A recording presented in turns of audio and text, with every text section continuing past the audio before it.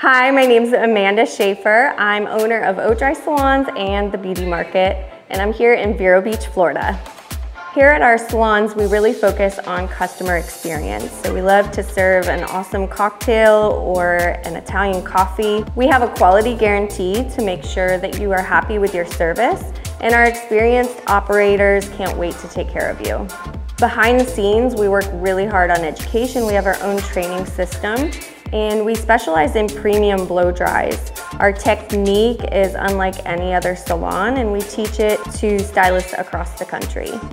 We spend a portion of our resources and our energy focusing on cool new offerings. So we do things like color analysis, and we find your best look with hair and makeup. We also offer a premium head spa service to focus on scalp and hair health.